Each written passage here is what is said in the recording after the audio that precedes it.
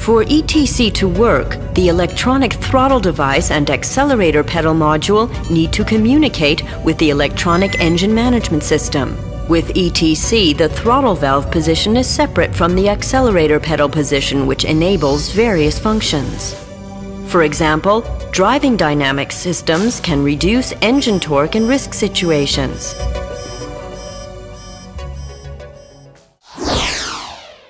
Bosch. Invented for life.